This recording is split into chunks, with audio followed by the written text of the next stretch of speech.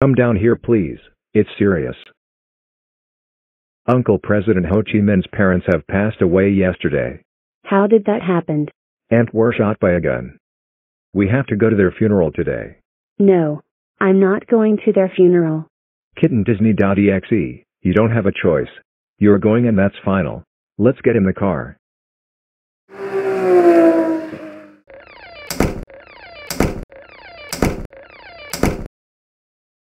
President Ho Chi Minh's parents were the best families we ever had.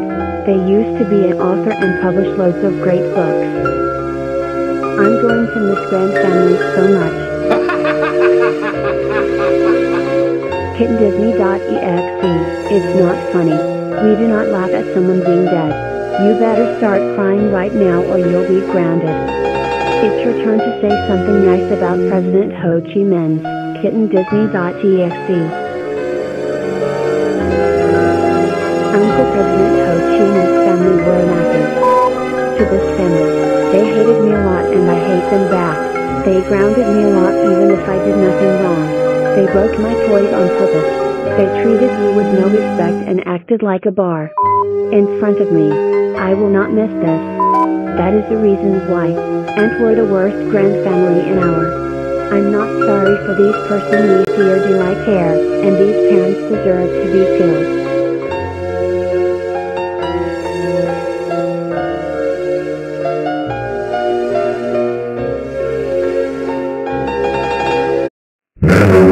Action.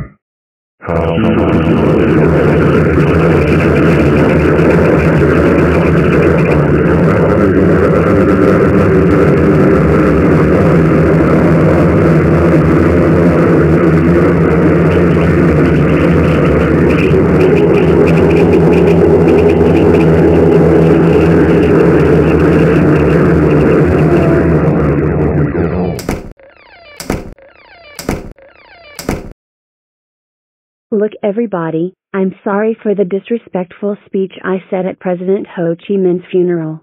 No, you're not sorry. You are grounded for 54,545,135 years.